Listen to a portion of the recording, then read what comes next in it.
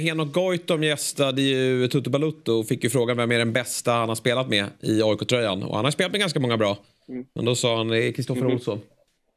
Mm, oj, wow. Nej, men eh, Henok var det inte så svårt att spela mot. Han tog otro... alltså det har man lärt sig eh, med åren när man spelat med några forwards. Det var bara att slå bollen. Det var hans otroliga löpning. Alltså, man har inte spelat med många smartare än han, så att, eh, vi hade en bra kemi på planen. Men, eh, ja, kul, kul att höra.